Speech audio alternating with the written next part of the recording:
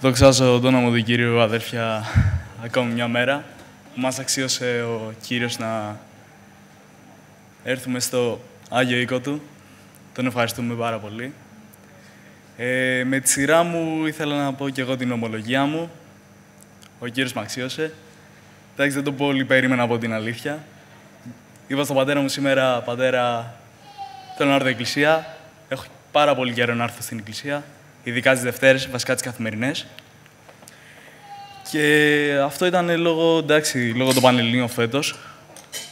Ωραία εμπειρία και με τις Πανελλήνιες. Ε, για να μην καθυστερώ, ε, ονομάζομαι Έντριτ Χότζα. Είμαι 18 ετών. Στην εκκλησία μπήκα τρίτη δημοτικού. Ε, και το πώς μπήκα Άλλη δοξάζω στον Κύριο, γιατί μια μέρα έτσι όπως καλοκαιριού ε, είχαμε αποφασίσει να πάμε σε μια... να πάμε παραλία, να κάνουμε το καλοκαιρινό μας μπάνιο. Και έτσι όπως πηγαίναμε όλα καλά, όλα, όλα ωραία, ξαφνικά ο πατέρας μου κοντά στη Μαλακάσα ή ακριβώς, αν δεν κάνω λάθος, ε, χάνει τον έλεγχο. Με αποτέλεσμα, αδέλφια, δοξάζουμε τον Κύριο, πραγματικά οικογενειακός, που μας έφερε στον οίκο του έτσι. Πραγματικά ευχαριστώ. Διότι έτσι όπως ήταν το αμάξι, αδέλφια, στα αριστερά ήταν ένας, ένα μικρό λοφάκι, να το πω. Λοφάκι, κατηφόρα, με ελιές, που δοξάζουμε τον Κύριο, διότι ο Θεός μας προσγείωσε με τις ρόδες ο πατέρας μου, μαζί με τον αδερφό μου και με τη μητέρα μου, είδαν ένα πολύ μα πολύ φωτεινό φως. Εγώ δεν είδα τίποτα, δεν κατάλαβα τίποτα. Ε, διότι γενικά σαν παιδί, δε, από μικρό παιδί, δεν, είχα, δεν ήξερα τι είναι ο Χριστός, τι είναι ο Θεός, τι είναι το Πνεύμα Άγιο και γενικά τι είναι η Εκκλησία, δεν είχα ιδέα τίποτα. Ε, ο αδερφός μου από την άλλη ήξερε, διότι με τη μητέρα μου ήταν πολύ κοντά. Δηλαδή, διότι ήταν, η θρησκεία της μητέρας μου ήταν μουσουλμανική και είχαν τουλάχιστον μία τέτοια, αλλά εντάξει.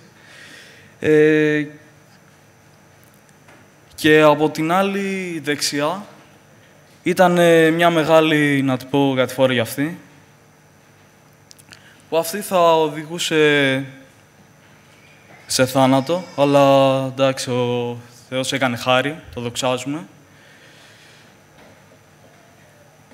Και έτσι όπως ήμασταν εκεί, ο πατέρας μου είδε ξαφνικά τρία μεγάλα πρόσωπα. Ε, ε, μου αν δεν κάνω λάθος. Αν κάνω λάθος, πατέρα, συγγνώμη. Ε, και δεν είχε ιδέα πώς είχαν έρθει αυτά τα αδέρφια. Του είπαν Αρμάντο, εντάξει δεν το είπαν έτσι. Δεν θυμάμαι και εγώ καλά. Ε, είχε σάγιο και πρέπει να βαφτίσει στο νερό. Ε, αμήν. Και εκείνο το καλοκαίρι θυμάμαι, το είχα περάσει στο νοσοκομείο. Εντάξει, δόξα τω Θεώ, όχι βαριά τραυματισμένος. Ε, και μετά από μέρες και εβδομάδες, αν δεν κάνω λάθος, ο θείος μας, ο Κλοντιάν, λέει στον πατέρα μου «Αρμάντο, γιατί δεν έρχεσαι ξανά εκκλησία, και λέει ο πατέρας μου, αμήν. Μπαίνοντας εγώ στην εκκλησία σε τόσο μικρή ηλικία, τρίτη δημοτικού, μετά το καλοκαίρι βέβαια, αν δεν κάνω λάθος, ε, δεν ήξερα που ήμουνα. Θυμάμαι, μιλάει και ο αδελφός Χοροβέση, υμνούσαμε γενικά και γέλαγα, εντάξει, δεν είχα πολύ ιδέα για την εκκλησία για αυτά. Και με το πέρασμα το χρόνο με αξίωνο ο Κύριος, καταλάβαινα σε μια μικρή ηλικία γενικά τι κάνουμε, ότι ήταν ευλογημένα. Και έτσι όπως ερχόμουν στις εκκλησίες τις Κυριακές, έβλεπα αδέλφια στην ηλικία μου, μεγαλύτερα, μικρότερα, να βαφτίζονται στο νερό, λέω, μου μπήκε στη καρδιά, λέω, τώρα τι είναι αυτό, φαίνεται ωραίο. Και όντως ήταν ε, κάτι ωραίο, διότι θυμάμαι μια Παρασκευή, ήμουνα μαζί με τον αδερφό μου, τον αδερφό Κοροβέση, αν δεν κάνω λάθος, ναι, μαζί με τον αδερφό μου, τον αδερφό Κοροβέση και εμένα, και άλλα αδέρφια στην ηλικία μας. Ήμασταν, αν δεν κάνω λάθος, εδώ, ακριβώς προσευχόμασταν. Και έτσι όπως προσευχόμασταν, ο Κύριος με... μου χάρισε το Πνεύμα Άγιο, δόξα τον Κύριο. Ένιωσα πάρα μα πάρα πολύ μεγάλη χαρά, διότι έβλεπα και τα αδέλφια, όπως είπα, να βαφτίζονται και λέω, είναι κάτι ωραίο. Και όντως είναι κάτι ωραίο.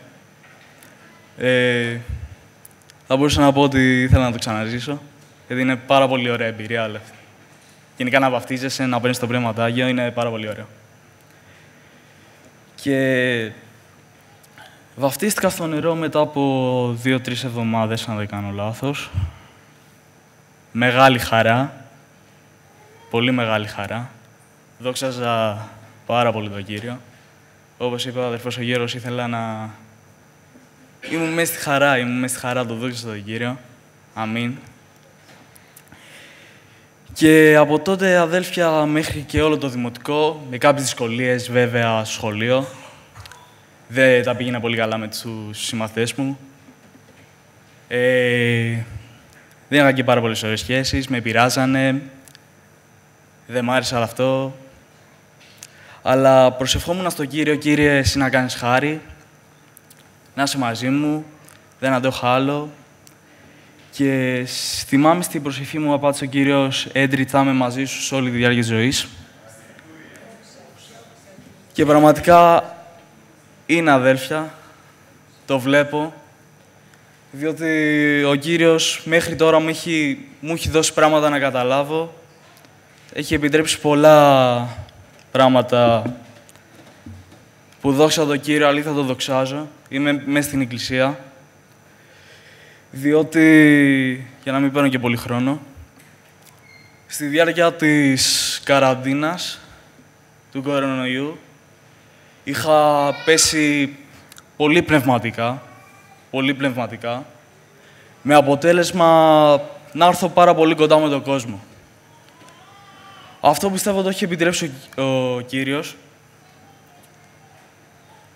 Ε, γιατί αδέλφια πραγματικά δεν δοξάζω το Θεό που μας έβαλε όλους στον Ήγο του τον Άγιο να γευόμαστε τα λόγια Του Κυρίου, να παίρνουμε μία, να το πω, εικόνα σε εισαγωγικά, με τις προσευχές, με την υμνοδία, μία εικόνα ουρανού.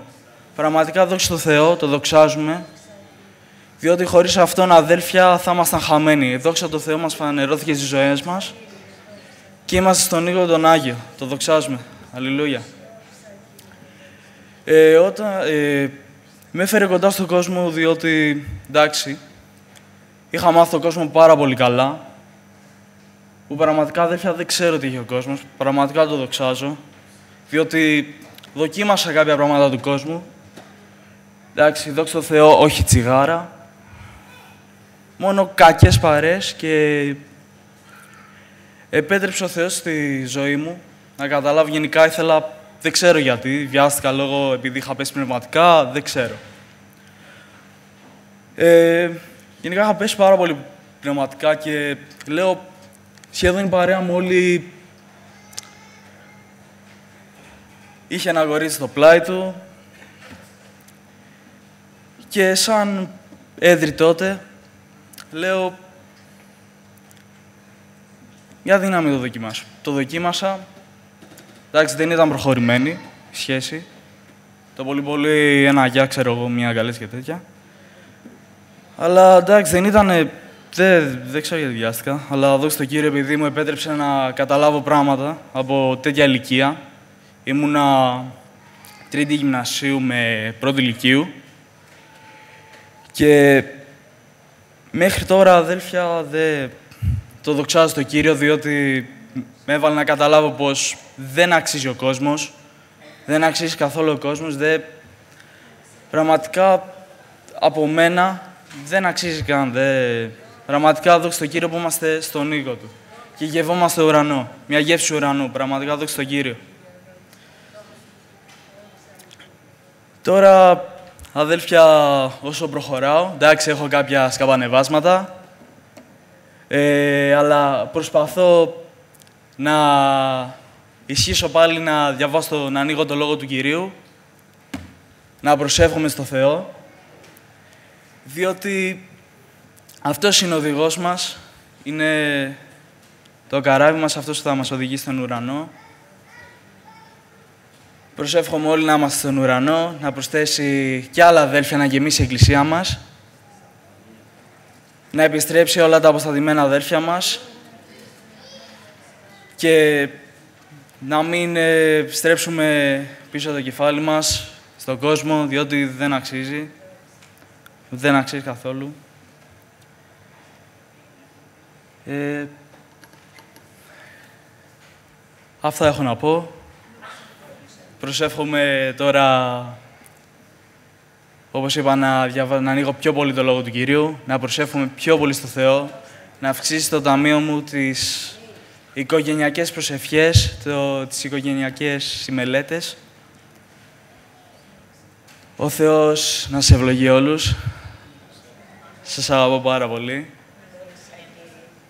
Διότι κάθε φορά που μπαίνω στην εκκλησία, σας βλέπω, χαμογελάω, μας έχει χαρίσει ο Κύριος μια ωραία οικογένεια, μια ωραία οικογένεια, μια ωραία αδελφότητα και πραγματικά δόξα στον Κύριο, το δοξάζω πάρα πολύ, μα πάρα πολύ. Και τώρα έχω πάρα πολύ χαρά που σας βλέπω και όλους. Ο Κύριος να βλέπει τα αδέρφια που δεν ήρθα σήμερα. Αυτά έχω να πω με τη χάρη του Κυρίου. Ο Κύριος σας ευλογεί πλουσίως. Αμήν.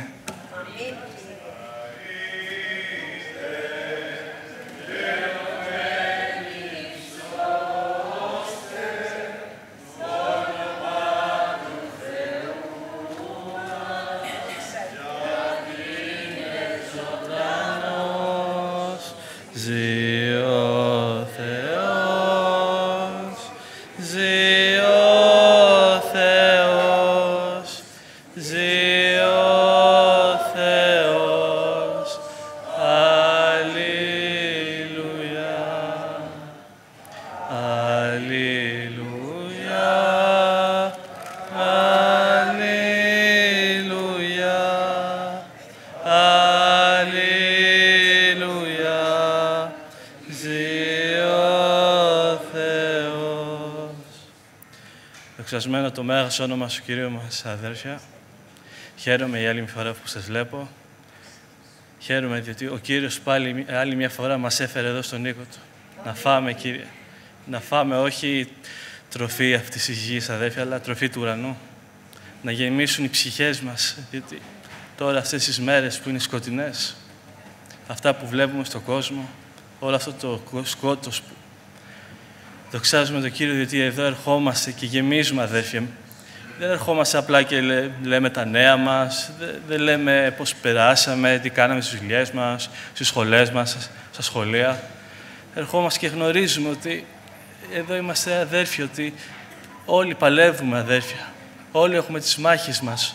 Γνωρίζουμε ότι ο αδερφός που κάθεται δίπλα μου, στα αριστερά μου, στα δεξιά μου, γνωρίζει ότι και αυτός έχει τις μάχες του.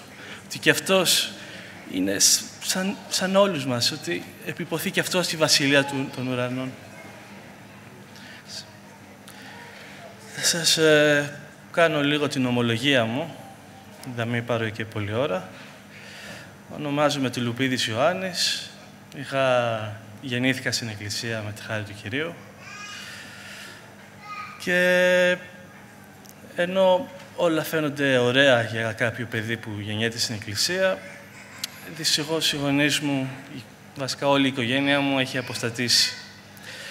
Ξεκίνησαν πρώτα οι αδερφές μου, έφυγε η μία, έφυγε μετά η άλλη. Μετά έφυγαν και οι γονείς μου και στο τέλος ερχόμουν εδώ πέρα μόνος μου. Αλλά ευχαριστώ τον Κύριο, διότι μου έχει δώσει επαγγελίες. Μου έχει πει ο Κύριος ότι θα τους ξαναφέρει. Δεν ξέρω ούτε πώς, ούτε πότε, αλλά ξέρω ότι έχει μίλησει ο Κύριος. Και όπως λέει ένα εδέφιο στους αριθμούς, δώσε μου ένα λεπτό να το βρω. Ο Θεός δεν είναι άνθρωπος να ψευτεί, ούτε Υιός ανθρώπου να μεταμεληθεί. Αυτός είπε και δεν θέλει εκτελέσει ή ελάλησε και δεν θέλει, και δεν θέλει εμείνει. Αυτό ευχαριστώ, κύριε, ευχαριστώ πάρα πολύ, διότι ξέρω τι θα κάνει ο Κύριος στην αλλαγή. Και ευχαριστώ τον Κύριο και για όλους εσάς, διότι γνωρίζω ότι προσεύχετε κι εσείς για τα αιτήματά μου. Σας δοξασμένο το μέγας όνομα του Κύριου. Θα σας μιλήσω λιγάκι για πώς πέρασαν τα χρόνια ενώ ήμουν εδώ σαν μικρό παιδί. Ενώ ήμουν γεννημένος ε, στην εκκλησία, δεν, ε, δεν μπορώ να πω ότι γεύτηκα τον κόσμο, ούτε κάπνιζα, ούτε ασχολήθηκα με διάφορα πράγματα του κόσμου. Δεν, ε, δεν καθόμουν γενικά να ακούσω το λόγο του Κύριου ενώ ήμουν μικρός. Συνέχεια έπαιζα με τα άλλα παιδάκια, δεν τρέχαμε στα αριστερά, στα δεξιά.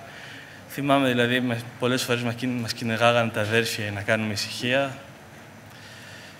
Τι να σας πω, αδέρφια, είχε τύχει και πολλές φορές, είχε, είχε τύχει και κοροϊδεύα και τον αδερφό του Κοροβέση.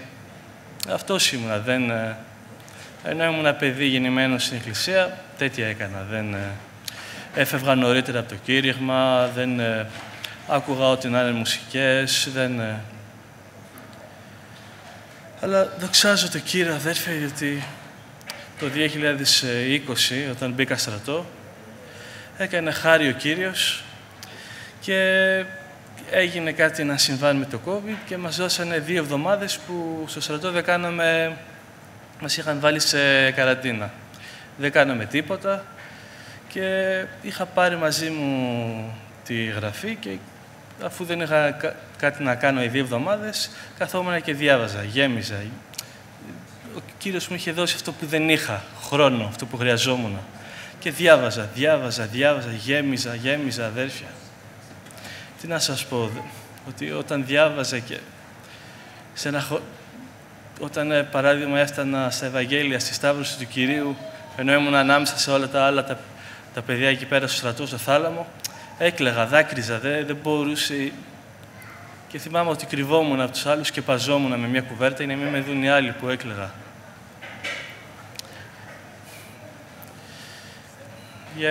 Πέραγε ο καιρός, διάβαζα και θυμάμαι όταν ε, ενώ ήμουν ένα τέτοιος παιδί που δεν στην εκκλησία που δεν διάβαζε ποτέ, δεν ακούγε ποτέ το κήρυγμα, συνέχεια με το κινητό, συνέχεια με διάφορα άλλα πράγματα. Ο Κύριος έκανε χάρη και μου έβαλε δίπλα αδέρφια που, μπορώ να, που τον ευχαριστώ τον Κύριο που με στήριξαν. Μου έβαλε τον Ευαγγέλιο του Κωστόπουλο, τον αρχό μου, τον Μάκη τον Μακρογιάννη. Με έβαλε αδέρφια και μας έδεσε, διαβάζαμε μαζί, προσευχόμασταν, βρισκόμασταν. Πράγματα που για μένα ήταν σαν καινούρια πράγματα. Δεν τα σκεφτόμουν καν παλιά. Να μαζευτώ με τα αδέρφια, να προσευχηθούμε. Δε, δε, μου φαίνονταν τρελά αυτά τα πράγματα. Και θυμάμαι, δε, όταν ε, τελείωνε και η στρατική μου θητεία, ξεκίναγα και φοβόμουν. Λέω, τι θα κάνω τώρα. Έχει έρθει ο καιρός να πρέπει να βρω δουλειά. Τι θα κάνω. Και θυμάμαι ο κύριος με είχε...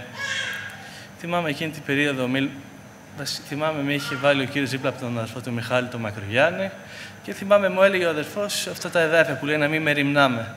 Από τη στιγμή που εμείς δεν μπορούμε να κάνουμε κάτι, δεν, ε, δεν μπορούμε να, μια τρίχα από άσπρη να την κάνουμε μαύρη και από μαύρη άσπρη, να τα αφήσουμε όλα στο Κύριο. Και ευχαριστώ τον Κύριο για, τα αδέρφια, για τον αδερφό μου τον Μιχάλη τον Μακρογιάννη και για τους πρεσβυτέρους που ο Κύριος δεν τους είχε βάλει τυχαία, δεν, ε, δεν τους έδωσε απλά ένα τίτλο και τα αδέρφια μας κοπιάζουν, πάνε από εκκλησία σε εκκλησία, μιλάνε για το Λόγο του Κυρίου και μου έχει, μου έχει πει ο Κύριος, μου έχει δείξει να, να τους βοηθάμε αυτά τα αδέρφια που παλεύουν. δεν είναι ότι απλά κάθονται και με το χέρι διατάζουν εσύ αδερφέ, κάνε εκείνο, εσύ κάνε τούτο. Που θα, θα, θα πούν και τα αδέρφια με αγάπη άμα δουν κάποιο λάθος. Θα, θα το διορθώσουν με αγάπη, θα, θα μιλήσουν. Δεν, ε, αλλά μου έχει δείξει ο Κύριος να τους βοηθάμε, να μην, ε, να μην δουλεύουν τα αδέρφια με, με δυσκολία, αλλά να μην είμαστε εμπόδια, αλλά εμείς να τους βοηθάμε, να, να τους στηρίζουμε. Δοξασμένο το Μέγα όνομα του Κυρίου. Και μου έλεγε ο αδερφός να μην, ε, να μην μεριμνώ, αφού ο Κύριος δεν γνωρίζει τι χρειαζόμαστε. Δεν, δεν ξέρει ο Κύριος τι χρειαζόμαστε, ύπνο, τροφή, να πιούμε.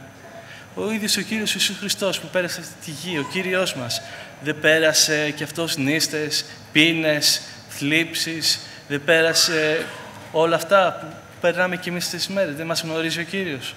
Πώς γίνεται ο Κύριος που μας γνωρίζει να μην μας τα δώσει αυτά, ενώ εμείς τον εμπιστευόμαστε; Και με τη χάρη του Κυρίου, θυμάμαι αδέρφια, εκείνη την περίοδο στο στρατό, που ήταν οι, μου, οι τελευταίοι μου μήνες, είχε βγει μια προκήρυξη για να μπω στο στρατό με σύμβαση. Το σκεφτόμουν, προσευχήθηκα και έκανα τα χαρτιά μου για να μπω σε εκείνη την προκήρυξη. Αλλά θυμάμαι πριν πάω να κάνω αυτά τα χαρτιά, αδέρφια, πήγαινα να ήμουν στο στρατόπεδο στο διοικητήριο να κάνω μερικές ερωτήσεις σχετικά με αυτή την προκήρυξη. Και έτσι πως πήγαινα αδέρφια και ήμουν στον δρόμο και περπατούσα, προσεύχομαι και λέω στον κύριο, στο κύριο κύριε, διότι εγώ επειδή είμαι άνθρωπος ανόητος, δείξε μου κύριε με, τρόπο, με φανερό τρόπο να καταλάβω ότι είναι από σένα, διότι είμαι ανόητος. Και πριν τελειώσει αδέρφια αυτή την προσευχή, έρχεται ο προϊστάμενός μου που είχα τότε με το αμάξι δίπλα, μου λέει πας στο διοικητήριο, έλα μαζί μου, θα, θα σου πάω εγώ. Πάμε μαζί στο διοικητήριο και αδέρφια, εκεί, όταν πήγαμε και ήταν να ρωτήσω σχετικά με αυτή την προκήρυξη, ό,τι ερώτηση είχα αδέρφια, δεν βγήκε τίποτα από το στόμα μου. Όλα τα είπε ο προϊστάμενός μου. Όπως λέει και ένα εδάφιος στους ε, ψαλμούς, το βρω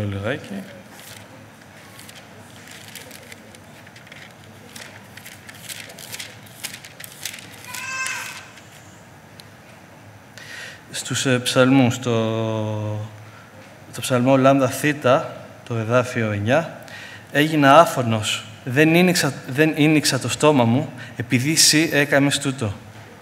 Και δοξάζω το Κύριο, διότι αυτό το εδάφιο δεν είχα ιδέα ότι υπήρχε. Και μετά μου το φανέρωσε ο Κύριος. Δηλαδή, ό,τι και να κάνουμε, ό,τι περίπτωση να νομίζουμε ότι βρισκόμαστε, όσο δύσκολο και να είναι, υπάρχει μια λύση εδώ πέρα, αδέρφια όπου και να νομίζουμε όσο απελπισμένοι, όσο και σκοτεινό να είναι ο δρόμος που βρισκόμαστε, υπάρχει το φως, υπάρχει η οδός που είναι ο Κύριος μας. Τι να σας πω αδέρφια, έχει δείξει, έχει κάνει χάρη ο Κύριος. Θυμάμαι να σας πω μια εμπειρία, ήμουν μια μέρα το επει... Α, και τι να σας πω, τι, δόξα τον Κύριο, με τελικά με πήραν σε αυτή την προκήρυξη και ο Κύριος μου χάρισε δουλειά, δόξα τω Θεώ. Δεν με άφησε δεν με άφησε ο Κύριος και ούτε θα μας αφήσει. Τώρα, αδέρφια, με τη χάρη του Κυρίου είμαι στην ε, αεροπορία. Είμαι πάνω στο βουνό της Πάρνηθας και τυχαίνει μερικές, μερικές μέρες κάνουμε 24 ώρες υπηρεσίες και μένουμε πάνω στο βουνό. Και θυμάμαι τις πρώτες μέρες που είχα πάει στο βουνό και μου βάζανε υπηρεσίες να κάνω μέσα στο μήνα, μου είχαν βάλει να κάνω μια υπηρεσία την Κυριακή. Ε, ξέρετε, δηλαδή θα ξεκίναγα στις 9 το πρωί την Κυριακή και δεν τελείωνα Δευτέρα. Αλλά δεν θα μπορούσα να έρθω εδώ να πάρω την κοινωνία σώματος και αίματος. Δεν θα μπορούσα να, να ήμουν εδώ με τα αδέρφια μου. Και δυστυχώς εκείνη τη μέρα είχα μείνει πάνω στο βουνό. Δεν, ε, δεν μπόρεσα να έρθω. Αλλά δοξάζω το κύριο αδέρφια ότι έχει κάνει χάρη ο κύριος και από τότε μόνο μια φορά στα σχεδόν τρία χρόνια έχω χάσει μόνο μια Κυριακή έχει κάνει χάρη ο Κύριος, μου βάζουν υπηρεσίες από Δευτέρα έως Σάββατο και Κυριακή δεν μου βάζουν. Ο Κύριος, αδέρφια, να μου έχει δώσει μια τέτοια δουλειά και να μου βάλει να μπει εμπόδια, να μην έρχομαι στον οίκο του. Τι να σας πω, αδέρφια, μόνο δοξάζω το Κύριο, δεν μπορώ να κάνω τίποτα άλλο. Και ο Κύριος μου έχει δείξει τόσο πολλά πράγματα, μου έχει μιλήσει, ενώ ήμουν στεναχωρημένος πάνω στο βουνό, να μου λέει ο προϊστάμενός μου μην τα, μην τα κρατάς όλα πάνω σου, ας τα σε μένα. Ο προϊστάμενός μου να το πει αυτό. Να λέει ο ποδιοικητής μου, να μου λέει όποιος μείνει μέχρι το τέλος θα δει το Κύριο. Αυτοί μιλάγανε, ο Κύριος μίλαγε αδέρφια. Γιατί είναι γεγραμμένο ότι θα, μιλάω, θα μιλήσω και με πέτρες. Τι να πω αδέρφια, δεν κάνει τέτοια χάρη ο Κύριος και μόνο εμείς το μόνο που μπορούμε να κάνουμε να ευχαριστούμε και να το δοξάζουμε. Θυμάμαι αδέρφια μια φορά ήμουνα υπηρεσία πάνω στο βουνό και κοιμόμουν, ήταν η νύχτα και ξαφνικά ήταν στις 3 το πρωί τα ξημερώματα και ξαφνικά ξυπνάω και νιώθει μια παρουσία τόσο γλυκιά, τόσο δυνατή. Ήταν ο Κύριος μαζί μου στο δωμάτιο, αδέρφια. Δοξάζω τον Κύριο. Και ντρεπόμουν τόσο πολύ τον εαυτό μου που θυμάμαι σκεπαζόμουν πιο πολύ για να μην φανώ καθόλου εγώ. Λέω, και προσευχόμουν, γλωσσολαλούσα, ήταν τόσο ωραία αυτή η παρουσία και στην ε, προσευχή μου έλεγα «Κύριε, ποιοι είμαστε εμείς και με έρχεσαι, Κύριε, και μας επισκέπτεσαι; Εμείς μόνο προβλήματα σου προκαλούμε, εμείς δεν είμαστε τίποτα». Όπως λέει και ένα άλλο εδάφιο στους ψαλμούς, να το βρω λιδάκι.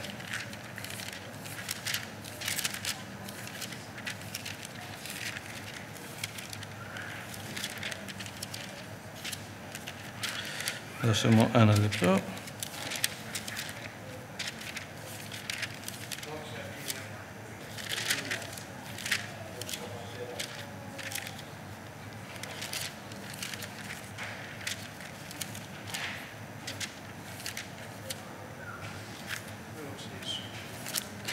Ένα λεπτάκι, είναι από ένα πολύ ωραίο εδάφιο. Στους ψαλμούς, τον ψαλμό Ήτα, ο 8ος ψαλμός, το εδάφιο 4. Τι είναι ο άνθρωπος ώστε να ενθυμίσει Αυτόν ή ο Υιός του ανθρώπου ώστε να επισκέπτησε Αυτόν; Εσύ δεν έκανες Αυτόν ο λίγο κατώτερον των αγγέλων και με δόξη και τιμή στεφάνωσες Αυτόν; Και έλεγα αυτό, Κύριε, εμείς τι είμαστε εμείς, δεν είμαστε τίποτα. Μικρότεροι και από μυρμήγκια, μικρότεροι και από το μηδέν είμαστε, Κύριε. Δε, γιατί μας επισκέπτεσαι, γιατί ενώ εμείς προκαλούμε τόσα προβλήματα και θυμάμαι αδέρφια μετά από μερικές μέρες μου απάντησε ο Κύριος έτσι πως ήμουνα νομίζω κάπου πήγαινα με το αμάξι και ακούω τη φωνή του Κυρίου αδέρφια να μου λέει Α, και θυμάμαι έτσι πως έλεγα αυτός στο Κύριο αυτή την ερώτηση λέω Κύριε, εσύ έφτιαξες τον ουρανό και τη γη, τους γαλαξίες, το σύμπαν, έφτιαξες τα πάντα γιατί ασχολείσαι με εμάς που δεν είμαστε τίποτα; Και μου απάντησε ο Κύριος και μου είπε ότι μπορεί εγώ να έχω φτιάξει το σύμπαν, τους γαλαξίες, τον ουρανό και τη γη αλλά εσείς είστε παιδιά μου τι νόημα έχει όλη ο γαλαξίας όλα αυτά, αλλά εμείς είμαστε παιδιά του. Μας έκανε παιδιά του με το αίμα του κυρίου μας, ο Ιησού Χριστό. Εκείνη την ημέρα που σταυρώθηκε, εκεί που, εκείνη την ημέρα που έχεις το αίμα του ο κύριος, γίναμε παιδιά του. Εκείνη τη μέρα που απαρνηθήκαμε τον κόσμο, που βαπτιστήκαμε εδώ πέρα, αδέρφια, στο νερό, που γεμίσαμε το Πνεύμα το Άγιο, που μας έκανε αυτή τη χάρη ο Κύριος, αυτή τη δωρεά του Αγίου Πνεύματος. Εκείνη τη μέρα γίναμε παιδιά Του και Τον ευχαριστούμε μου είχε δείξει και, και ο κύριος αδέρφιο ότι όταν κάποιος αδερφός βαπτιζόταν εδώ πέρα, στο, μου είχε δείξει ότι σαν να ανοίγει μια καταπακτή από κάτω αδέρφια και ο, ο άνθρωπος της Αρκός, ο παλιός άνθρωπος, να φεύγει στα βάθη των θαλασσών και να εξαφανίζεται αδέρφια. Και να βγαίνει ο καινούριος άνθρωπος, ένα άνθρωπος λευκός, να πιο, πιο λευκός από το χιόνι. Και τον ευχαριστώ τον κύριο. Τι να σας πω αδέρφια, τόσα πολλά μας έχει δείξει ο Κύριος, τόση χάρη έχει κάνει, που είμαστε εδώ σήμερα, που μπορούμε να αποκαλούμε ένα στον άλλον αδέρφια. Θυμάμαι μερικές μέρες ήμουν στενοχωρημένος όταν ερχόμουν στην εκκλησία και έβλεπα όλα τα αδέρφια, που, όλοι, όλοι σας που χαμογελάγατε, που ήσασταν χαρούμενοι. Και λέω, γιατί χαμογελάνε, δεν έχουν προβλήματα, δεν έχουν θλίψεις. Μόνο εγώ είμαι, μόνο περνάνε όλοι, όλοι είναι στην ΕΔΕΜ, όλοι στην Παράδεισο, τελειώσανε όλοι. Και με αξιώνει ο αδέρφιο ο κύριος μου μια όραση και μου δείχνει ότι ο κάθε αδερφός κάπου έχει μια πληγή, κάπου έχει ένα πρόβλημα. Μπορεί να μην φαίνεται, αλλά χαίρονται πάντα, πάντα τα αδέρφια μας. Εσείς χαίρεστε συνέχεια και γι' αυτό χαίρομαι αδέρφια. Ότι βλέπω το, χαμο... βλέπω το πρόσωπο του Κυρίου στο πρόσωπό σας. Βλέπω ότι ενώ ε, μπορεί να έχετε θλίψεις, μπορεί να ε, έχετε διωγμούς, μπορεί να ό,τι και να περνάτε. Θλί...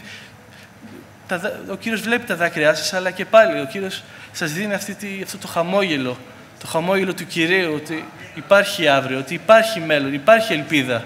Και αυτή η ελπίδα, αδέρφη, είναι ο Κύριος μας, ο Ιησούς Χριστός. δεν είμαστε... Ο Κύριος δεν είναι ένας Θεός που είναι μακριά, που δεν μας καταλαβαίνει. Ήρθε, περπάτησε σε αυτή τη γη, μα, μας κατάλαβε, πέρασε τις θλίψεις μας, πέρασε τους πόνους, μάτωσε, τον βαρέσανε, του βάλανε το αγκάθινο στεφάνι, τα πέρασε όλα αυτά και ενώ είπε να παρέλθει αυτό το ποτήρι από εμού και πάλι είπε στο τέλος να γίνει Κύριε το, το θέλημά σου. Όλα αυτά για μας Κύριε που εμείς τι κάναμε, τον χλεβάζαμε, τον... ήμασταν ενάντιοι του και μας έκανε παιδιά ειδικά του. Και αυτό αδέρφια να χαιρόμαστε, να δοξάζουμε τον Κύριο γιατί Αυτός έκανε τα πάντα για εμάς ενώ εμείς ήμασταν άξιοι θανάτου. Τι να πω αδέρφια, δε. Ο Κύριος να σε ευλογήσει όλους σας. Χαίρομαι που σας βλέπω, χαίρομαι που ενώ ο καθένας περνάει τις δυσκολίες του, τις θλίψεις του, ξέρω ότι θα, έρθει πάλι, θα έρθείτε πάλι εδώ πέρα και θα γεμίσετε με το Λόγο του Κυρίου που ενώ οι άνθρωποι πονάνε και έχουν, ε, έχουν πόνο στο σώμα πάνε στο νοσοκομείο να φτιαχτεί η σάρκα. Αλλά εμείς ερχόμαστε εδώ πέρα για να, φτιαξεί, για να, για να γεμίσει η ψυχή μας, το πνεύμα μας, να γεμίσει με ελπίδα αδέρφια. Σας ευχαριστώ. Σε ευχαριστώ το Κύριο και το δοξάζω για, ό, για όλους σας, καθένα σας ξεχωριστά, γιατί γνωρίζω ότι κι εσείς, όπως με κάνει χάρη ο Κύριος και με βάζει, μου δείχνει εσάς να προσεύχομαι για εσάς, προσεύχεστε κι εσείς για μένα. Σας ε, δοξάζω και ευχαριστώ πάρα πολύ τον Κύριο. Ο Κύριος, ο Κύριος να είναι μαζί σας, αδέρφια.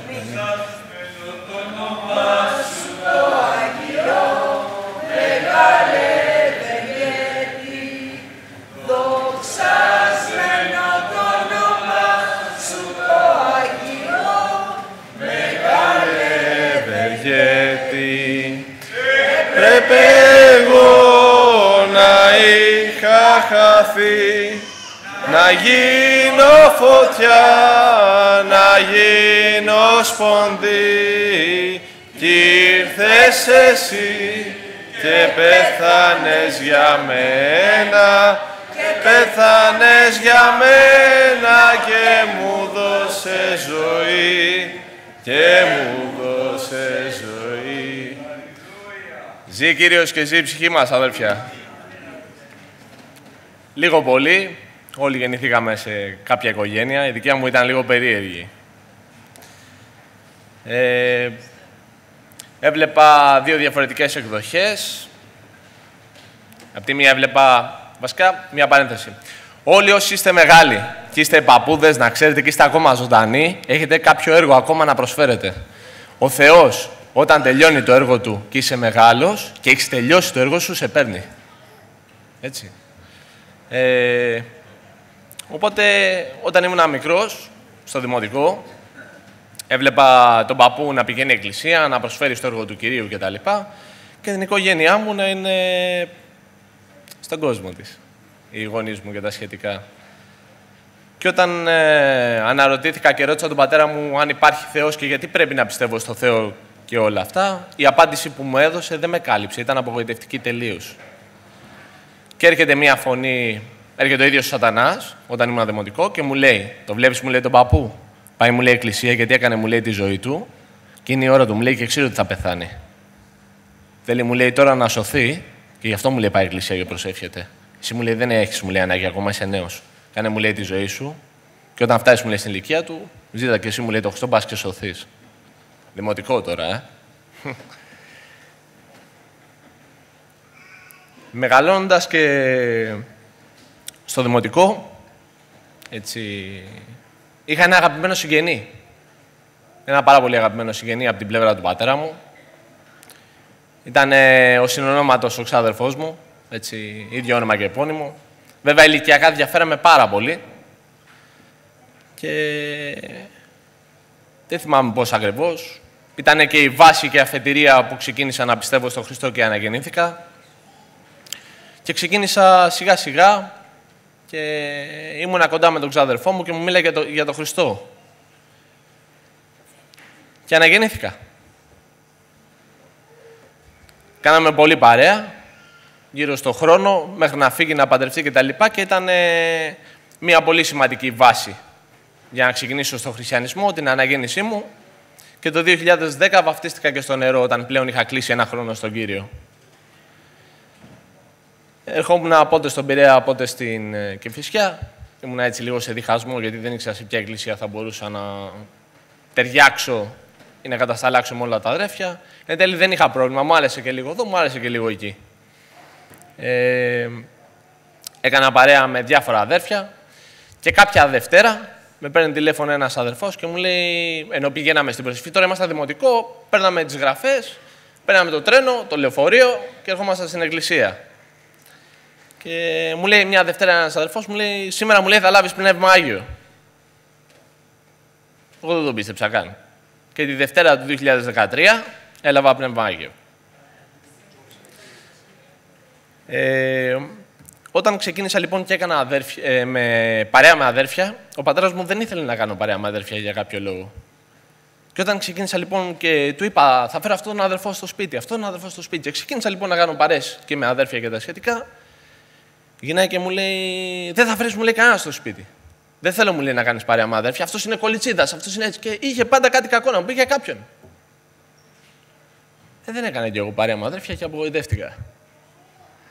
Φεύγω από την εκκλησία εφόσον όταν δεν κάνεις παρέες και δεν έχεις και φίλους να είστε όλοι ομοθυμαδών και να έχετε το. Δηλαδή, ο ένας να συμπαρασύρει τον άλλον προς το καλό, ε, φεύγεις. Ξεκινάω, επειδή ο πατέρας μου ήταν ελάτρη των πολεμικών τεχνών και τα σχετικά, ε, την αρχή με τις πολεμικές τέχνες και τα σχετικά, μπαίνω σε αυτό το μοτίβο, ασχολούμαι με τις πολεμικές τέχνες, επαγγελματικά, πρωτοαθλητισμούς, στο γυμνάσιο τσακωνόμουν πολύ, ήμουν πολύ άγριος, έτσι. Πάω στο Λύκειο, τσακωνό, πάω, με γράφουνε Σιβητανίδιο, στην Καλυθέα, σε ένα χώρια εγώ. Πάω κάτω. Βέβαια, η οικογενειακή κατάσταση στο σπίτι, επειδή δεν ήταν καλή και δεν, είχαν, δεν πήγανε με τον Χριστό, έκανε ο καθένας ό,τι ήθελε, ήταν ένα διαλυμένο περιβάλλον και γενικά με τα παιδιά δεν ασχολιόταν πολύ. Δηλαδή, μπορεί να λείπαμε ας πούμε, τρεις μέρες από το σπίτι και να μην σε παίρνει τηλέφωνο, σου πούνε Πού είσαι, τι κάνεις, γιατί λείπει. Ε, είχα ένα πολύ ισχυρό χαρακτήρα, σχηματίσαμε ένα πάρα πολύ ισχυρό χαρακτήρα και ήμασταν ε, αυτόφωτοι και όχι ετερόφωτοι. Δηλαδή δεν κάναμε ό,τι κάναν τα παιδιά, καπνίζαν τα παιδιά, τους κορεδεύαμε εμείς. Και επειδή κάναμε και πολεμικέ τέχνες, Πήγαμε κυρίως στους πιο μάγκες, στους πιο έξυπνους που το παίζανε και τους δέρναμε. Αυτοί ήμασταν. Αλλά ήρθε ο Χριστός σιγά σιγά, μεγαλώνοντας, και μας τα πήρε αυτά όλα. Και μας ελέησε και μας ελευθέρωσε.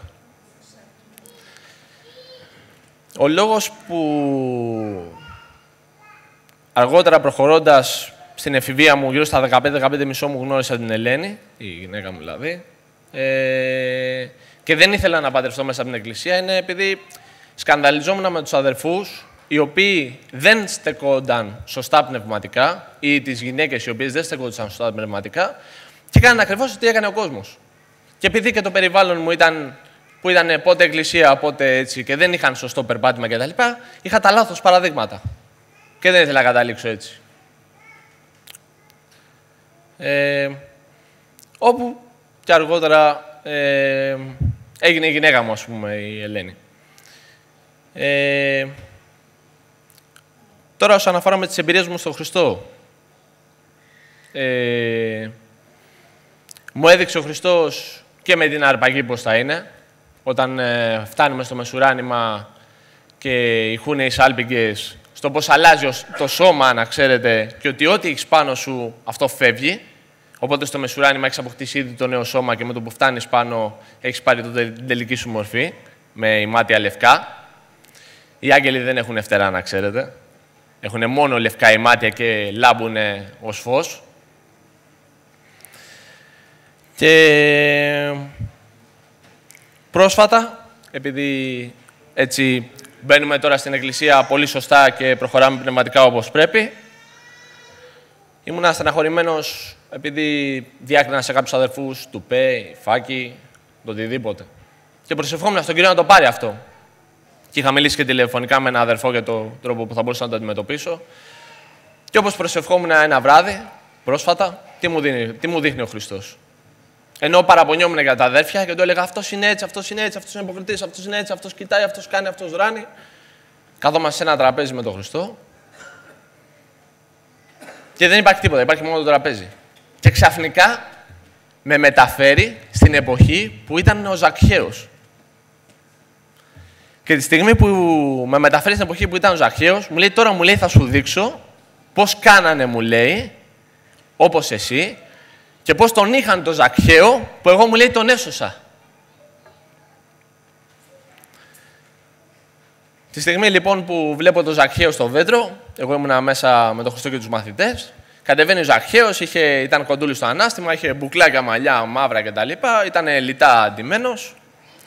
Του που του μιλάει ο Χριστός, κατεβαίνει, έρχεται κοντά του, κάνει ένα πάγωμα του χρόνου και μου λέει, κοίτα, μου λέει τα πρόσωπα, μου λέει, εδώ μου λέει πώς τον ονειδίζουνε, μου λέει και τι λένε και πώς τον μισούνε. Έτσι μου λέει και είναι θυμωμένοι μαζί του και μαζί μου, γιατί θέλουν να το σώσω. Έτσι μου λέει όπως είσαι και εσύ θυμωμένος, μου λέει με τους αδερφούς. Ξαναφτιάχνει το χρόνο και κυλάει κανονικά ο χρόνος. Του λέει, Ζακιέ, σήμερα σώθηκε εσύ και ο οίκος και τα λοιπά, θα έρθω στο σπίτι και τα σχετικά.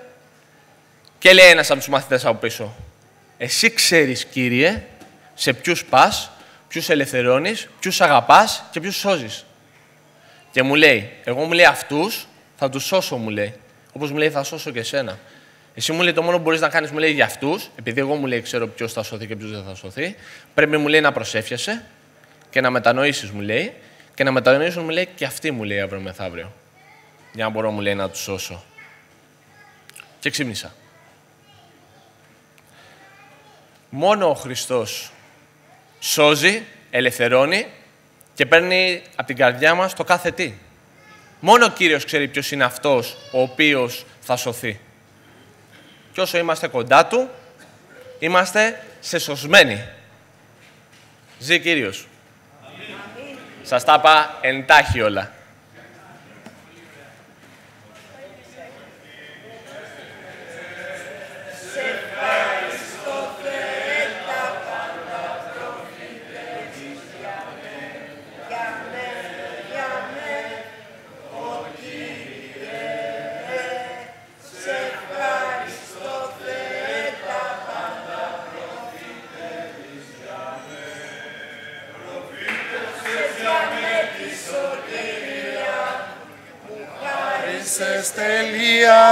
Θεραπεία μου έδωσε ειρήνη και χαρά.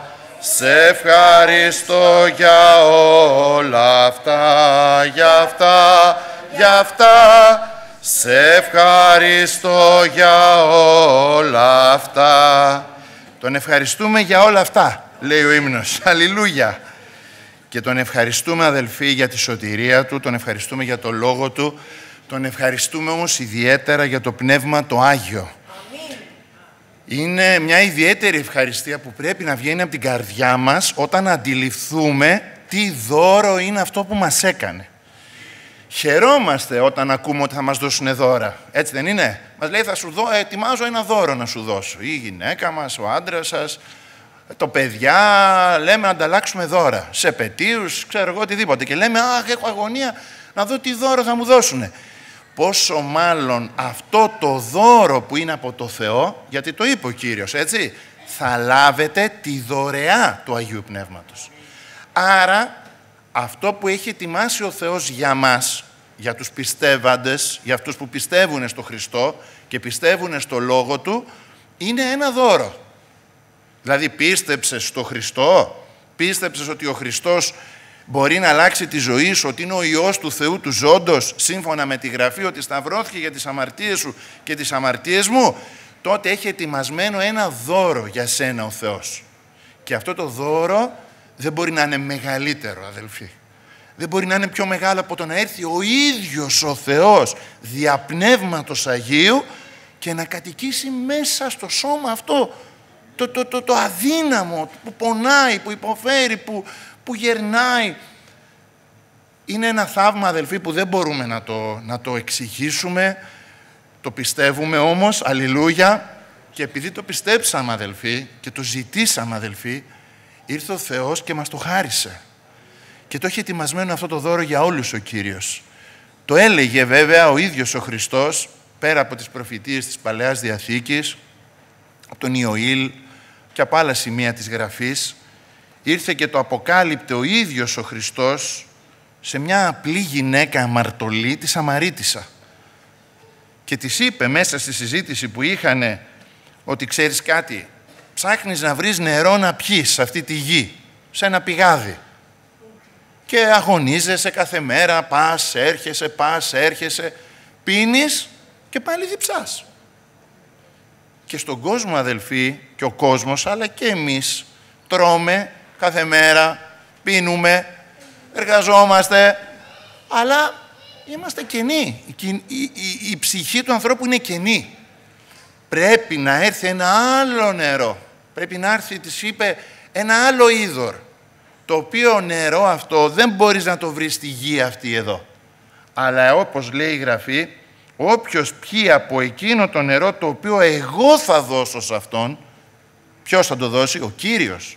Ο Κύριος δίνει το νερό αυτό, δεν θέλει διψήσει στον αιώνα.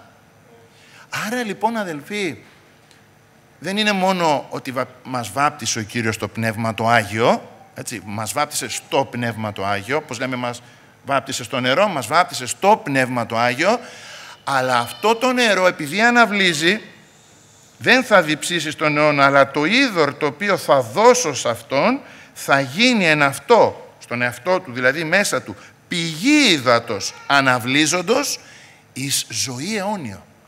Δηλαδή, όσο εγώ πληρώνομαι στο Πνεύμα το Άγιο, συχνά, κάθε μέρα, ή δυνατόν, κάθε μέρα, μιλάω γλώσσες, ενώνομαι με τον Κύριο, μένω στο να μιλάω γλώσσες, δεν μιλάω δύο λεπτά, πέντε λεπτά και σταματάω, μένω στο να μιλάω γλώσσες, γεμίζω με την παρουσία του Θεού, τότε αυτό είναι μια πηγή η οποία αναβλύζει, αναβλύζει, αναβλύζει, αναβλύζει.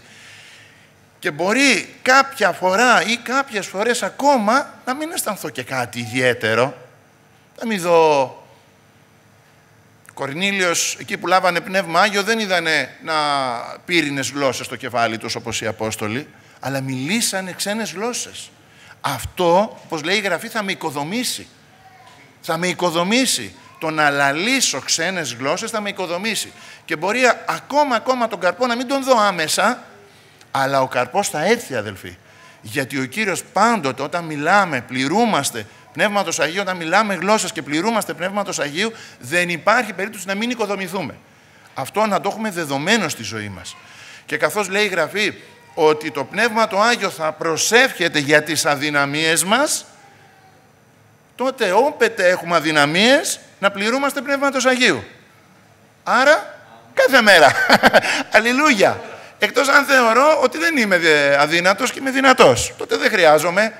Αλλά επειδή είμαστε αδύναμοι αδελφοί, και αυτή είναι η αλήθεια, ότι είμαστε αδύναμοι αδελφοί, και αδυνατίζουμε, ακόμα και αν αισθανθούμε δυνατοί κάποια στιγμή εν Κυρίω, εν Χριστώ Ιησού, αυτό όμως, επειδή στο πέρασμα της ημέρας, με όλα αυτά που βλέπουμε, με όλα αυτά που περνάμε, αδυνατίζουμε πάλι. Το Πνεύμα το Άγιο έχει αυτή την πηγή, αδελφοί, που μας ανακαινίζει, μας αλλάζει, μας γεμίζει. Γι' αυτό λοιπόν χρειάζεται εμείς να το εξητήσουμε πρώτα, την πηγή αυτή συνέχεια να ανοιχτεί μέσα μας, να μας γεμίζει στο ταμείο μας με Πνεύμα Άγιο πρώτα, πρώτα απ' όλα στο ταμείο μας και μετά βέβαια στην εκκλησιαστική προσευχή. Στις συναφρήσεις μας, το Πνεύμα το Άγιο να εργάζεται τα χαρίσματα του Πνεύματος του Αγίου, τα χαρίσματα του Πνεύματος του Αγίου, αδελφοί, είναι και αυτά χαρίσματα, ένα χάρισμα από το Θεό, που μας τα έχει δώσει ο Κύριος για την οικοδομή της Εκκλησίας. Δεν νοείται, δεν μπορεί η Εκκλησία να προχωρήσει αν δεν έχει το Λόγο του Θεού και το Πνεύμα του Άγιο, όπως ξέρουμε πολύ καλά. Και τα δύο μαζί. Αλλά και η παρηγοριά έρχεται μέσα από το Πνεύμα το Άγιο. Λέει οι Εκκλησίες, λέει οικοδομούντο, οικοδομούντο δια της παρηγορίας του Αγίου Πνεύματος. Χρειαζόμαστε λοιπόν όλοι μας την παρηγοριά του Πνεύματος του Αγίου. Άρα λοιπόν τα χαρίσματα του Πνεύματος του Αγίου. Άρα λοιπόν την εκκλησιαστική προσευχή η οποία να πληρωθούμε στο Πνεύμα του Άγιο οι προφήτες να ενωθούν με τον Κύριο και να δώσουν μηνύματα ουράνια, αδελφοί, ώστε να παρηγορηθούν οι καρδιές μας και να οικοδομηθούμε και να οικοδομηθούμε σαν εκκλησία. Στην, ε, στην Α Κορινθίους, εκεί που μιλάει για την αγάπη, γιατί πολλοί άνθρωποι και χριστιανικά δόγματα αναφέρουν ότι δεν χρειαζόμαστε, δεν χρειαζόμαστε το Πνεύμα το Άγιο. Αυτό όμως είναι λάθος. Είναι μεγάλο λάθος, αδελφοί. Διαβάσαμε προηγουμένως αυτό που είπε στη Σαμαρίτησα ο Κύριος, ότι η πηγή αυτή θα αναβλήσει η ζωή αιώνιο. Δηλαδή, το Πνεύμα το Άγιο το έχω ανάγκη για τη ζωή την αιώνιο εν τέλει. Θα με βοηθήσει να φτάσω και να, και να, και να τερματίσω το, το δρόμο μου. Γιατί θα τονίσω, θα αποκάμω.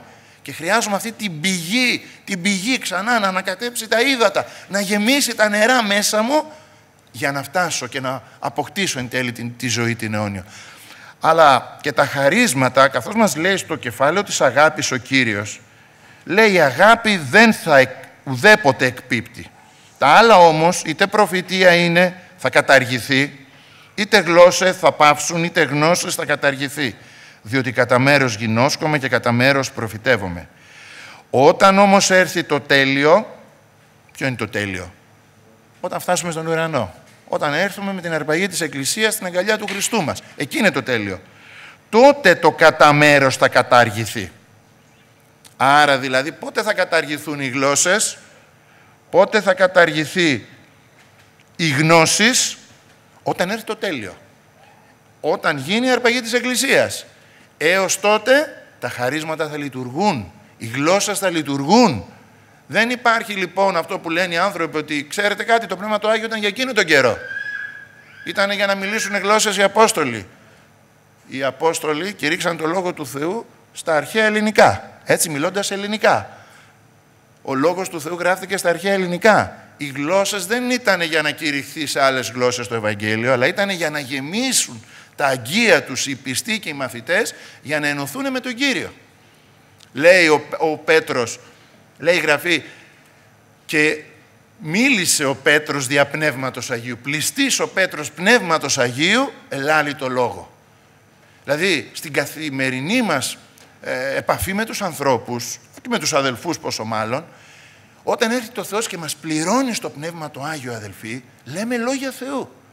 Και έτσι έχουμε τις Αγίες κοινωνίες των αδελφών, τις ευλογημένες ή όταν μιλάμε στους ανθρώπους μας γεμίζει το Πνεύμα το Άγιο για το τι να πούμε δεν ξέρουμε, αλλά το Πνεύμα το Άγιο θα σας δώσει εκείνη την ώρα τι πρέπει να αναλύσετε, έτσι δεν είναι; Το Πνεύμα το Άγιο, ποιο Πνεύμα Άγιο; Αυτό στο οποίο κάθε μέρα εγώ με το οποίο πληρώνομαι, με αυτό που γεμίζω. Και όπως έχουμε πει και ξανά, αν δεν γεμίζω κάθε μέρα, μένω κενός, μένω άδειος, γεμίζει η ψυχή μου με πράγματα του κόσμου μάλλον και όχι με πράγματα του Θεού και όταν έρθει η ώρα να δώσω δεν έχω να δώσω γιατί είμαι άδειος.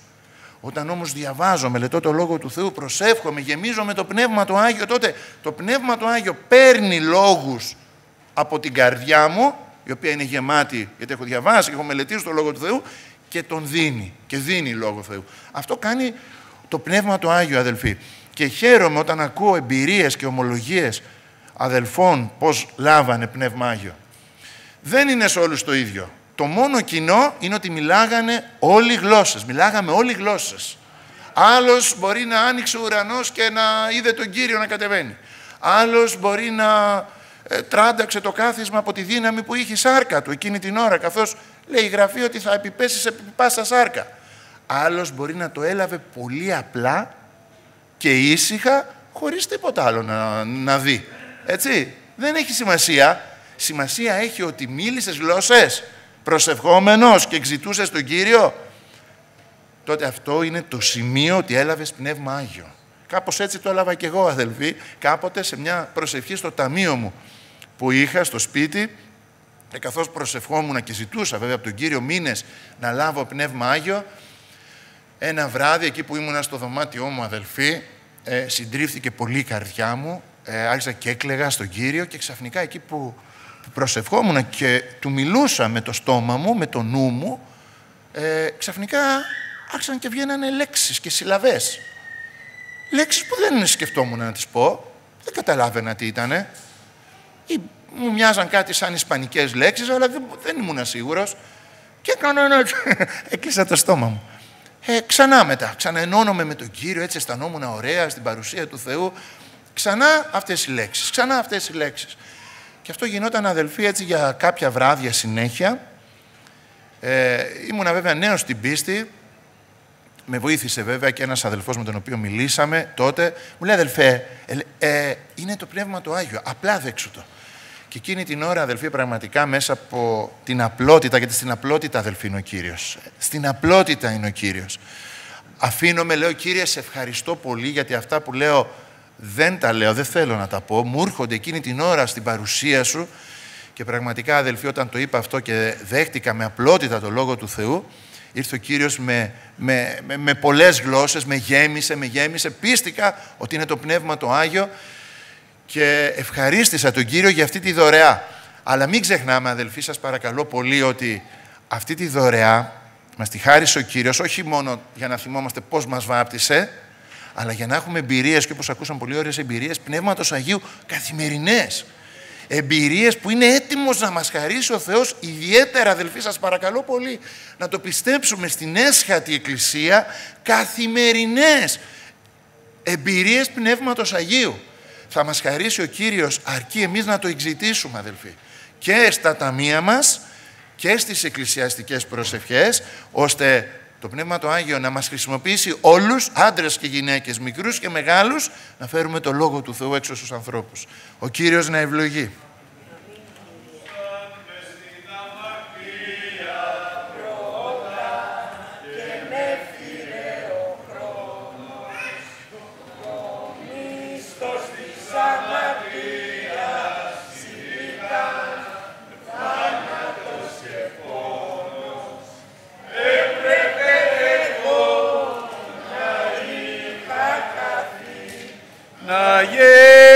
Φωτιά να γίνω σπονδίκη και πέθανες για μένα και πέθανες για μένα και μου δώσε ζωή και μου δώσε ζωή. Αλληλούια Κυριέ μου, σε ευχαριστούμε Πατέρα. Αν και έχω ξαναπεί την ομολογία μου πάνω στο Πνεύμα το Άγιο, αλλά πιστεύω ότι είναι ανάγκη να το πω για να προσθέσω κάτι στο τέλος. Τέσσερα χρόνια ζήταγα το Πνεύμα το Άγιο και είχα μεγάλη αγωνία και δεν το λάμβανα. Πολύ μεγάλη αγωνία. Και είχα πάει στον αδερφό του Λουί, δηλαδή του λέω αδερφέ Λουί, αν έρθει τώρα ο Κύριος δεν θα είμαι στον ουρανό. Μου λέει το πιστεύεις, το πιστεύω, το ζητάς, το ζητάς, την τελευταία στιγμή να το δώσει. Και με παρηγόρησε. Αλλά μια μέρα ήμουνα στη 28 Οκτωβρίου στη Θεσσαλονίκη με τον Γιώργο τον Μικελόπουλο, μας φιλοξενήσανε και γίνεται μια προφητεία από τον Γιώργο τον Μικελόπουλο και μου λέει σε έξι μήνες ο Γιώργος ο Μικελόπουλος είναι τώρα στον Κύριο, έτσι σε έξι μήνες θα σε επισκεφτώ και θα σε ευλογήσω. Τα άκουσα, το ξέχασα. 25 Μαρτίου είχαμε ξανά σύνοδο και έρχεται μια αδερφή από το Νεοχώρι να μας δει για δύο λεπτά. Της λέω πάμε να γονατίσουμε, να προσευχηθούμε. Πάμε και πληρώνεται με πνεύμα Άγιο και μου λέει τα ξημερώματα στη σκοπιά σου θα σε επισκεφθώ και θα σε ευλογήσω. Εγώ ήμουν τότε στο Αίγιο. Θυμάμαι έξι μήνες, ξημερώματα, λέω να το τώρα έγινε. Και πηγαίνω Κυριακή στην εκκλησία και κατεβαίνοντας ο αδερφός ο Λουίς με χαιρετάει και μου λέει «Αδερφέ Γιώργο, το ξέρεις ότι αυτή τη βδομάδα σε βαφτίσουμε...» Δεν ήξερα τίποτα από όλα αυτά αυτή τη βδομάδα θα σε βαφτίσει με Πνεύμα Άγιο ο Κύριος. Εκεί είπα, έπιαθα σοκ, λέω ήρθε ο καιρός. Και πηγαίνω στο Αίγιο και λέω θα προσεύχομαι κάθε βράδυ μέχρι τις 5 η ώρα μέχρι να με βαφτίσει ο Κύριος. Και κάθε βράδυ προσευχόμουν μόλις ε, τέλειωνα τη δουλειά μέχρι τις 5 η ώρα, 5 η ώρα σηκωνόμουν, έβαζα τις πιτζάμες μου και κοιμόμουν μέχρι τις 7, 7 η ώρα πήγαινα δουλειά. Τετάρτη, το ίδιο. Και καθώς ξαπλώνω, έρχεται ένας δυνατός αέρας, με χτυπάει στο στήθος και πετά, βρίσκομαι στον ουρανό. Και πέταγα έτσι, αλλά με μια ταχύτητα, γι' αυτό καταλαβαίνω αυτό που λέει ο Παύλος με το σώμα μου, χωρίς το σώμα μου δεν ξέρω, έσκιζε τον αέρα. Ήμουνα με το σώμα μου. Θα μου πεις ήμουνα, δεν ξέρω, σας λέω τι ένιωθα. Και βλέπω μια τρύπα στον ουρανό που είχε φως, γιατί ήταν όλος ο ουρανός μαύρος, συνεφιασμένος. Και σημαδεύω την τρύπα και πηγαίνω κατά και όσο πλησίαζα με χάλωνε και κατάλαβα καθώς πλησίαζα ότι αυτό το φως δεν ήταν ο ήλιος, ήταν ο Θεός. Και τρομοκρατήθηκα και άρχισα να φωνάζω στο σύμπαν. Θεέ μου, είμαι αμαρτωλός, θα μην πλησιάσω και σε εδώ θα πεθάνω, είμαι αμαρτωλός, πολύ αμαρτωλός. Και αφού φώναζα πολλή ώρα βρέθηκα ξανά στο κρεβάτι μου. Αλλά είχα πάρει φοβερή δύναμη στο σώμα. Και είπα ότι δηλαδή το σώμα μου ήταν, τι να πω, και είπα ότι έλαβα δύναμη αλλά δεν έλαβα το Πνεύμα το Άγιο. Πέμπτη το ίδιο, Παρασκευή ήρθε η Άννα και ήρθαν και δύο-τρεις αδελφές ακόμη. Το ίδιο δεν έγινε τίποτα. Σάββατο πρωί με παίρνει η Γογούλα, η γυναίκα του Σορφατζιώτη, κάτι στις 10 η ώρα, μου λέει «Αδερφέ, με βάφτισε ο Κύριος με πνευμάγιο». Στενοχώρια εγώ. Λέω «Εσένα, εμένα όχι». Δεν να πάρει ευχή. Λέω καλά, αλλά άκουσα τις λόγια Γογούλα, τώρα που σε βάφτισε ο Κύριος με πνευμάγιο, προσευχή σου, να με, όχι, να βαφτίσεις πρώτα τον άντρα σου και μετά και εμένα. Γιατί τρεπόμουν να πω πρώτα εμένα. Και πραγματικά μετά από δύο ώρες χτυπάει τηλέφωνο τον Γιώργος Σοβρατζιώτης, μίλαγε γλώσσες. Αδερφέ μου λέει με βάφτισε με πνευμάγιο ο Κύριος. Εκεί ασκάσα από τη στενοχώρια μου. Άκου εκεί. Μπράβο, μπράβο του λέω και το κλείνω. Και λέω στην Άννα σήκω πάμε στον πύργο βαφτίζει με πνεύμα Άγιο ο Κύριος. Όχι μου λέει, ήταν και άλλες δύο-τρεις αδερφές, περιμένουμε το βράδυ να έρθουν τρεις οικογένειες για να, να τους μιλήσουμε για τον Χριστό. Πρέπει πάμε στον πύργο, εκεί βαφτίζει με πνεύμα Άγιο. Όχι, ναι, όχι, ναι. Ε, κατά τις δύο η ώρα πηγαίνω στο δωμάτιο μου μέσα να προσευχηθώ, αλλά ήμουν ξενυχτισμένος, με πιάσε ο ύπνος. Και ξύπνησα κατά τις 6, 6.30, 7.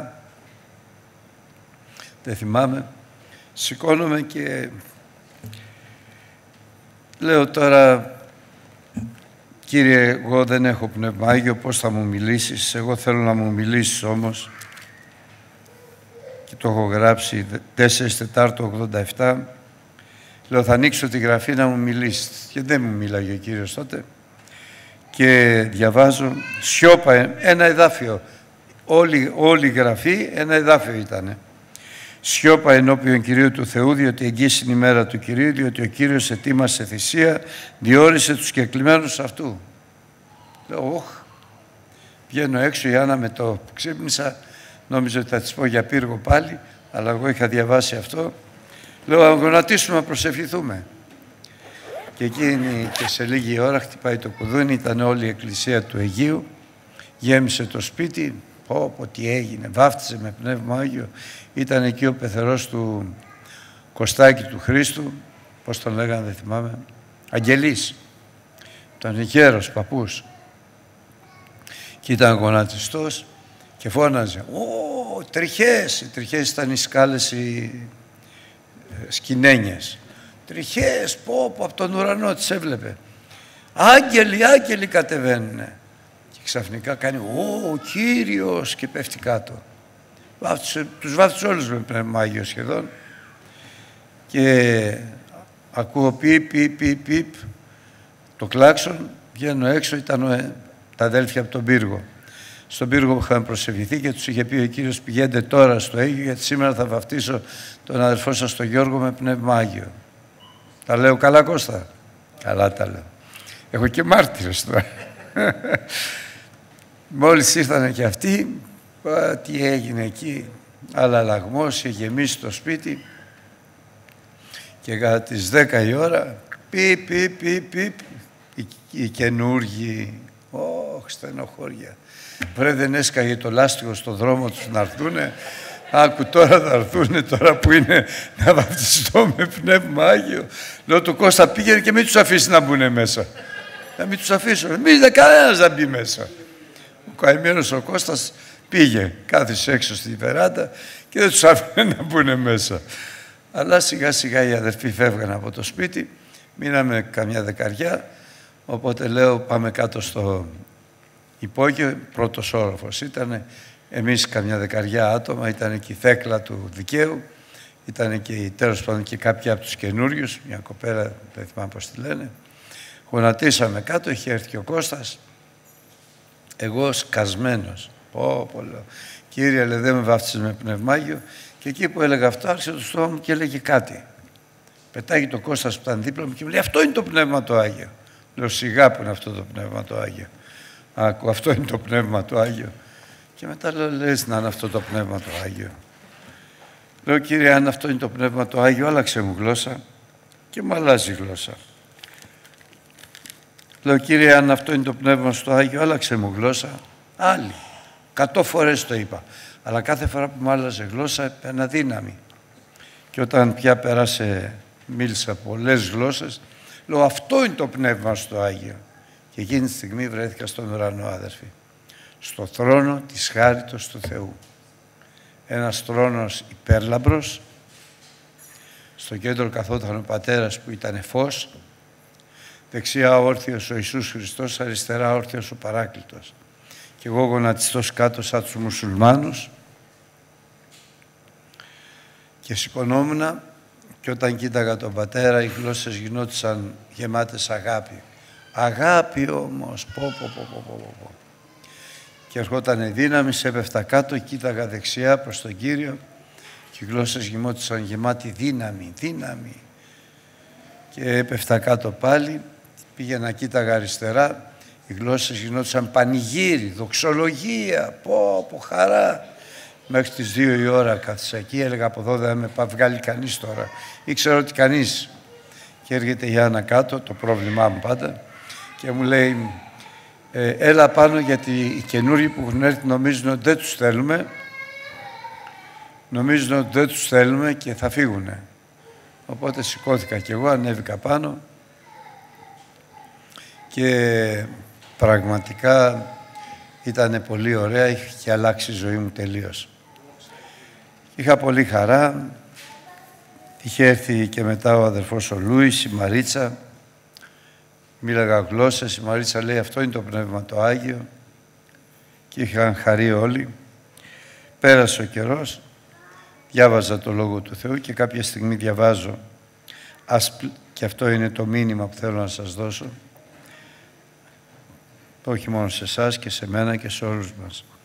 Ας πλησιάζομαι λοιπόν με τα παρησίας εις το θρόνο της χάριτος του Θεού για να λάβουμε έλεος και να έβρουμε χάρη προς βοήθειαν εν καιρό χρειάς. Εκεί τα χάσα. Λέω αυτό έζησα εγώ. Δηλαδή μπορώ να ξαναπάω; Μπορώ να ξανανεύω εκεί πάνω. Ας πλησιάζομαι λοιπόν με τα παρησίας εις το θρόνο της χάριτος. Όπου λέω θα το δοκιμάσω. Και εκείνο το βράδυ προσευχόμαι, βάζω το χέρι εδώ και λέω Κύριε έρχομαι στο όνομα του Χριστού με τα παρησίας να με ανεβάσει στο θρόνο της χάριτος. Και αδερφοί ευχαριστώ το Θεό με ανέβασε πάλι. Και όποιος το ζητήσει τον ανεβάζει ο Θεός. Μπορεί όχι την πρώτη φορά, τη δεύτερη δεν έχει σημασία. Αλλά εκείνο που έχει σημασία είναι ότι εάν βρεις αυτό το δρόμο με πίστη, με παρησία, και πεις στον Κύριο Χριστέ μου, σε παρακαλώ. Πατέρας, στο όνομα του Χριστού, σε παρακαλώ. Ανέβασέ με στο θρόνο της χάριτος. Το βέβαιο είναι ότι θα λαμβάνεις έλεος και θα βρίσκεις χάρη για τις επόμενες ημέρες. Ξέρεις, θα πει να βρίσκεις χάρη. Μόνο αυτό δεν σας λέω τίποτα άλλο. Να βρίσκεις χάρη για τις επόμενες ημέρες από τον Παντοδύναμο Θεό. που ξέρει το μέλλον, αλλά εσύ δεν το ξέρεις. Ε, από τότε έμαθα να ζω με αυτό. Και το λέω πάντοτε και σας το λέω και τώρα. Ξεκινά, ξεκινήστε αδέρφοι μου. Είναι κάτι που είναι δοσμένο από το Θεό όποτε θέλουμε. Πρωί, μεσημέρι, βράδυ, το που είπε ο Σπύρος, να πληρωνόμαστε με Πνεύμα Άγιο, αλλά και να ζητάμε αυτό από το Θεό να κάνει χάρη, να μας ανεβάζει στο θρόνο της χάριτος. Εκεί θα ζήσετε εμπειρίες που δεν μπορείτε να τις φανταστείτε. Εκεί θα μάθετε να συνομιλείτε όπως το λέει ο Κύριος μας, δεν σας λέγω πλέον δούλους, φίλος μου σας λέγω, εάν κάμετε όσα εγώ εντέλουμε, για να μιλάμε στόμα με στόμα. Και όχι μόνο αυτό, αλλά και αργότερα ο Κωνσταντίνος ο εγγονός μου είναι 22 χρονών, 22 περίπου, 23 δεν ξέρω, όταν ήταν 10 χρονών περίπου είχε λάβει Πνεύμα Άγιο και κατά παράξενο τρόπο είχαμε βρεθεί στον Κάλαμο. Και ήταν το εγγονάκι μου και πήγαμε στα Λούνα Πάρκ, φάγαμε, ήπιαμε, γυρίσαμε, παίξαμε και το βράδυ φτάσαμε σπίτι. Και καθώς φτάσαμε το βράδυ σπίτι, του λέω τώρα Κωνσταντινάκο, έλα να γονατίσουμε, να προσευχηθούμε, έχεις βαφτιστεί με Πνεύμα Άγιο, ό,τι του ζητήσεις θα στο δώσει. Και γυρίζει και μου λέει, τι να του ζητήσω παππού. Εκεί τρόμαξα. Λέω ότι του πω τώρα θα το θυμάται. Του λέω κάτσε Κωνσταντινάκο μου εδώ και θα έρθω. Πηγαίνω στο άλλο δωμάτιο, στον κάλαμο που είμαστε πάνω. Γονατίζω και λέω, πατέρα, σε παρακαλώ, τι να του πω. Τι να του πω. Θα το θυμάται και το θυμάται σε όλη του τη ζωή. Και έρχεται ο Κύριος και μου λέει, να του πεις να μου ζητάει να τον κάνω δούλο μου, να του πεις να μου ζητάει να γίνουμε φίλοι για να μιλάμε στόμα με στόμα. Αδελφοί αγαπητοί, πιστέψτε το. Δοκιμάστε το. Και ο Λόγος του Θεού λέει δοκιμάστε με. Και αν δεν ανοίξω τους καταράκτες του ουρανού να εκχαίω την ευλογία μου ώστε να μην υπάρχει τόπος, αφήστε με. Δεν το λέει το αφήστε με, εγώ το λέω. Γιατί είναι βέβαιο ότι θα σου δώσει. Αλλά βρήκα την ευκαιρία σήμερα να επαναλάβω μια φορά ακόμη αυτό το οποίο έχω πει στην Εκκλησία κατ' επανάληψη και όχι μόνο. Αγαπημένα μου αδέλφια, σε όλους μας ο Θεός, σε όλους μας, δεν είναι προσωπολήπτης ο Θεός. Δεν είναι προσωπολήπτης. Αυτό που λέει, το κάνει. Το πρόβλημα είναι αυτό που λέει το πιστεύεις, αυτό που λέει το ετής, αυτό που λέει το ζητάς, αυτό που λέει χτυπάς την πόρτα; Να σου ανοίξει ο Κύριος. Αυτό είναι το κρίσιμο σημείο. Το πιστεύεις. Εγώ το πίστεψα και θα τολμούσα να πω με αυτό ζω και υπάρχω. Και ευχαριστώ το Θεό γι' αυτό. Σας παρακαλώ πάρα πολύ. Πιστέψτε το. Δοκιμάστε το και ο Θεός θα σας ευλογήσει. Αμήν. Να ψάλουμε και τον ύμνο 300.